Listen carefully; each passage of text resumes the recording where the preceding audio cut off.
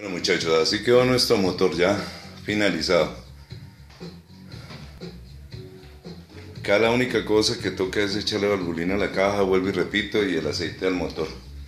Pero así quedó. Quedó todo montadito, su radiador pintado. Bueno, pues el panel sí está un poquito viejito, pero pues como esto es mecánica para pobres, no nos alcanzó la plata para cambiar el radiador, el proyecto es cambiarlo después. Pero ahí ya está montado todo el motor. Su alternador, su timer. Allá al fondo la válvula, la bomba de gasolina, el filtro del aceite. Ya el arranque. Acá está su suavizador acá el motorcito de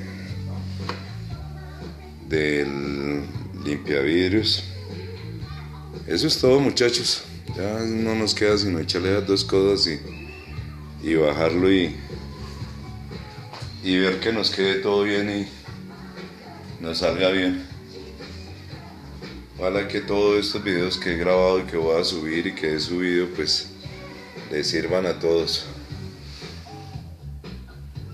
que pues, personas que no tengan así el, el poder adquisitivo puedan hacerlo por sí mismos, no es tan complicado y pues teniendo una guía así por YouTube le sirve a uno mucho saber cómo se va desarmando y cómo se va armando. Por el momento no es más muchachos, ya no nos queda sino grabar el, el momento definitivo de que aleluya nos sirva. Buenas noches.